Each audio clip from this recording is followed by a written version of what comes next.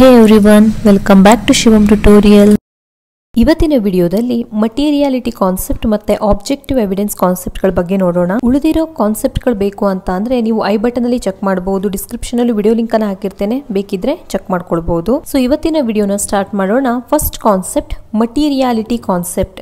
See what it is. This concept says that only material transactions are to be disclosed on books of account. That means items have been insignificant effect and being irrelevant to the business, those need not to be disclosed. Those items are either merged out or recorded on other accounts ಹಾಗಂತ ಅಂದ್ರೆ ನಾವು ಅಕೌಂಟ್ಸ್ನ book ಅಲ್ಲಿ ಕೇವಲ material transaction ಗಳನ್ನ ಮಾತ್ರ disclose ಮಾಡ್ತೀವಿ. Immaterial ಟ್ರಾನ್ಸಾಕ್ಷನ್ಗಳು ಅಥವಾ irrelevant transaction ಗಳನ್ನ ಅಥವಾ ಇನ್ಸೈಂಟಿಫಿಕ್ ಟ್ರಾನ್ಸಾಕ್ಷನ್ ಗಳನ್ನ ನಾವು ಡಿಸ್ಕ್ಲೋಸ್ ಮಾಡೋದಕ್ಕೆ ಹೋಗೋದಿಲ್ಲ. ಹಾಗಾದ್ರೆ ಇಮ್ಮಟೀರಿಯಲ್ ಟ್ರಾನ್ಸಾಕ್ಷನ್ಗಳು ಅಥವಾ ಇರಿಲೆವೆಂಟ್ ಟ್ರಾನ್ಸಾಕ್ಷನ್ ಗಳಂದ್ರೆ ಏನು ಅಂತ ನೋಡೋದಿದ್ರೆ ಕೆಲವು ಟ್ರಾನ್ಸಾಕ್ಷನ್ ಗಳಿರುತ್ತೆ ಅದು ಚಿಕ್ಕ ಚಿಕ್ಕ ಅಮೌಂಟ್ ಅಲ್ಲಿ ಇರುತ್ತೆ, ಅದನ್ನ ನಾವು ಸಪರೇಟ್ ಆಗಿ ಅಕೌಂಟ್ ಅಲ್ಲಿ ತೋರಿಸೋ ಅವಶ್ಯಕತೆ ಇರೋದಿಲ್ಲ. ಹಾಗೆ ನಾವು ತೋರಿಸೋದ್ರಿಂದ ಅಕೌಂಟ್ಸ್ನ ಒಂದು ಬರ್ಡನ್ ಜಾಸ್ತಿ ಆಗುತ್ತೆ. ಆ ಬುಕ್ಕಿನ ಬರ್ಡನ್ ಜಾಸ್ತಿ ಆಗುತ್ತೆ ಅಂತ ಹೇಳ್ಬೋದು. ಅಂದರೆ ಫಾರ್ ಎಕ್ಸಾಂಪಲ್ ಈಗ ಒಂದು ಪೆನ್ನನ್ನು ಪರ್ಚೇಸ್ ಮಾಡ್ತೀರಿ. ಫೈವ್ ರುಪೀಸ್ ಕೊಟ್ಟು ಒಂದು ಪೆನ್ನನ್ನು ಪರ್ಚೇಸ್ ಮಾಡಿದ್ದೀರಿ.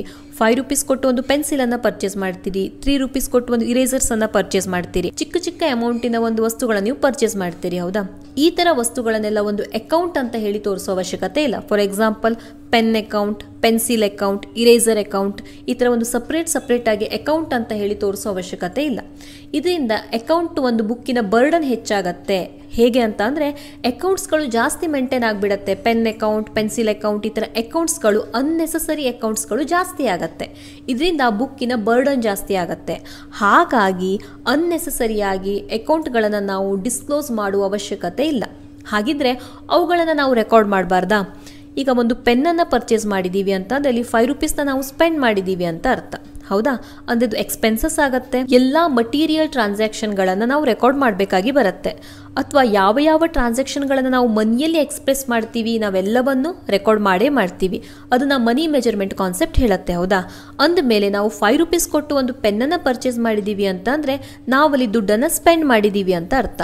ಅಂದಮೇಲೆ ಅದನ್ನು ನಾವು ರೆಕಾರ್ಡ್ ಮಾಡಬಾರ್ದಾ? ರೆಕಾರ್ಡ್ ಮಾಡಬೇಕು, ಆದರೆ ನಾವು ಅದನ್ನ ಸಪ್ರೇಟ್ ಆಗಿ ಡಿಸ್ಕ್ಲೋಸ್ ಮಾಡಬಾರ್ದು ಅಷ್ಟೇ. ರೆಕಾರ್ಡ್ ಮಾಡುವಾಗ ನಾವು ಅದನ್ನ ಬೇರೆ ಒಂದು ಅಕೌಂಟಿಗೆ ಮರ್ಜ್ ಮಾಡಿ ರೆಕಾರ್ಡ್ ಮಾಡಬಹುದು ಅಂದ್ರೆ ಫಾರ್ ಎಕ್ಸಾಂಪಲ್ ಈಗ ನಾವು ಪೆನ್ ಅನ್ನ ಪರ್ಚೇಸ್ ಮಾಡಿರೋದು ಪೆನ್ಸಿಲ್ ಅನ್ನ ಪರ್ಚೇಸ್ ಮಾಡಿರೋದು, ಅಥವಾ ಇರೇಸರ್ಸ್ ಗಳನ್ನ ಪರ್ಚೇಸ್ ಮಾಡಿರೋದನ್ನೆಲ್ಲ ನಾವು ಸ್ಟೇಷನರಿ ಅಕೌಂಟ್ ಅಂತ ಮಾಡ್ಕೊಳ್ತೀವಿ.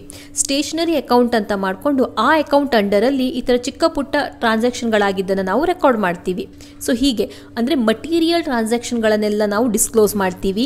ಇಮ್ಮಟೀರಿಯಲ್ ಟ್ರಾನ್ಸಾಕ್ಷನ್ ಗಳನ್ನ ನಾವು ಡಿಸ್ಕ್ಲೋಸ್ ಮಾಡೋದಕ್ಕೆ ಹೋಗೋದಿಲ್ಲ. ಅದನ್ನು ನಾವು ರೆಕಾರ್ಡ್ ಮಾಡಿ ಇರ್ತೀವಿ.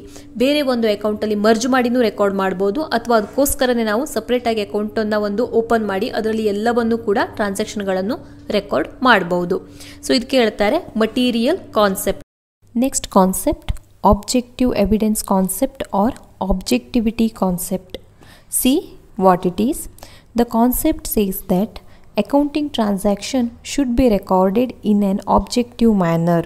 that means free from the bias of accounts and others this can be possible when each of the transaction is supported by verifiable documents or voucher for example transaction for the purchase of material or goods supported by invoice ಹಾಗಂತ ಅಂದರೆ ಈ ಕಾನ್ಸೆಪ್ಟಿನ ಪ್ರಕಾರ ನಾವು ಏನು ಟ್ರಾನ್ಸಾಕ್ಷನನ್ನು accounting ಬುಕ್ಕಲ್ಲಿ record ಮಾಡ್ತೀವಿ ಹೌದಾ ಆ ಎಲ್ಲ ಟ್ರಾನ್ಸಾಕ್ಷನ್ಗಳು ನಡೆದಿದೆ ಅನ್ನೋದಕ್ಕೆ ಎವಿಡೆನ್ಸ್ ಇರಬೇಕು. ಹಾಗಿದ್ರೆ ಎವಿಡೆನ್ಸ್ಗಳು ಹೇಗೆ ಸಿಗತ್ತೆ? ಓಚರ್ ಮೂಲಕ ಇರ್ಬೋದು ಇನ್ವಾಯ್ಸ್ ಮೂಲಕ ಇರ್ಬೋದು, ಅದಿದ್ದಾಗ ಮಾತ್ರ ಆ ಟ್ರಾನ್ಸಾಕ್ಷನ್ ನಡೆದಿದೆ ಅನ್ನೋದಕ್ಕೆ ಒಂದು ಎವಿಡೆನ್ಸ್ ಆಗುತ್ತೆ. ಹಾಗಿದ್ದಾಗ ಮಾತ್ರ ಅದನ್ನ ನಾವು ರೆಕಾರ್ಡ್ ಮಾಡ್ಕೊಳ್ಳೋದಕ್ಕೂ ಆಗತ್ತೆ. ಯಾವ ಒಂದು ಟ್ರಾನ್ಸಾಕ್ಷನ್ಗೆ ಓಚರ್ ಸಪೋರ್ಟ್ ಇರೋದಿಲ್ವೋ ಅದನ್ನು ನಾವು ಅಕೌಂಟಿಂಗ್ ಬುಕ್ಕಲ್ಲಿ ರೆಕಾರ್ಡ್ ಮಾಡ್ಕೊಳ್ಳೋದಕ್ಕೆ ಆಗೋದಿಲ್ಲ. ಯಾಕೆ ಟ್ರಾನ್ಸಾಕ್ಷನ್ಗಳಿಗೆ ಎವಿಡೆನ್ಸಿನ ಸಪೋರ್ಟ್ ಇರಬೇಕು ಅಂತ ಅಂದರೆ ಎವಿಡೆನ್ಸಿನ ಸಪೋರ್ಟ್ ಇದೆ ಅಂತ ಆ ಟ್ರಾನ್ಸಾಕ್ಷನ್ ನಿಜವಾಗ್ಲೂ ನಡೆದಿದೆ ಅಂತ ಅರ್ಥ. ಈಗ ಫಾರ್ ಎಕ್ಸಾಂಪಲ್ ಒಂದು ಗೂಡ್ಸನ್ನು ಪರ್ಚೇಸ್ ಮಾಡ್ತಾರೆ. ಗೂಡ್ಸನ್ನು ಪರ್ಚೇಸ್ ಮಾಡುವಾಗ ಅದಕ್ಕೆ ಸಪೋರ್ಟಿವ್ ಆಗಿ ಇನ್ವಾಯ್ಸ್ ಇರುತ್ತೆ. ಇನ್ವಾಯ್ಸ್ ಅಂತ ಅಂದರೆ ಅದರಲ್ಲಿ ಎಷ್ಟು ಕ್ವಾಂಟಿಟಿ ಗೂಡ್ಸನ್ನು ಪರ್ಚೇಸ್ ಮಾಡ್ತಾ ಇದ್ದಾರೆ ಯಾವ ಥರ ಗೂಡ್ಸನ್ನು ಪರ್ಚೇಸ್ ಮಾಡ್ತಾ ಇದ್ದಾರೆ ಅದರ ರೇಟ್ ಎಷ್ಟಿದೆ ಪ್ರತಿಯೊಂದು ಕೂಡ ಇನ್ವಾಯ್ಸಲ್ಲಿ ರೆಕಾರ್ಡ್ ಹಾಕ್ಕೊಂಡಿರುತ್ತೆ ಆ ಇನ್ವಾಯ್ಸನ್ನು ನೋಡೋದ್ರಿಂದ ಕಂಪ್ಲೀಟಾಗಿ ಒಂದು ಪಿಕ್ಚರ್ ಸಿಗುತ್ತೆ, ಯಾವ ಥರ ಗೂಡ್ಸನ್ನು ಪರ್ಚೇಸ್ ಮಾಡಿದ್ದಾರೆ, ಎಷ್ಟು ವರ್ತ್ ಗೂಡ್ಸಿನ ಪರ್ಚೇಸ್ ಮಾಡಿದ್ದಾರೆ ಅಂತ ಹೇಳಿ. ಸೊ ಇನ್ವಾಯ್ಸ್ ಇರೋದ್ರಿಂದ ಅಕೌಂಟ್ಸಲ್ಲಿ ಯಾವುದೇ ರೀತಿ ಮಿಸ್ಟೇಕ್ಸ್ಗಳಾಗೋದಿಲ್ಲ ಯಾವುದೇ ರೀತಿ ಫ್ರಾಡ್ಗಳಾಗೋದಿಲ್ಲ ಹಾಗಾಗಿ ಪ್ರತಿಯೊಂದು ಟ್ರಾನ್ಸಾಕ್ಷನ್ಗೂ ಕೂಡ ಒಂದು ಎವಿಡೆನ್ಸಿನ ಸಪೋರ್ಟ್ ಇರಬೇಕಾಗತ್ತೆ. ಅದು ಓಚರ್ ಆಗಿರ್ಬೋದು ಇನ್ವಾಯ್ಸ್ ಆಗಿರ್ಬೋದು ರಿಸಿಪ್ಟ್ ಆಗಿರ್ಬೋದು, ಈ ಥರ ಯಾವುದಾದ್ರೂ ಒಂದು ಎವಿಡೆನ್ಸಿನ ಸಪೋರ್ಟ್ ಇರಲೇಬೇಕಾಗತ್ತೆ.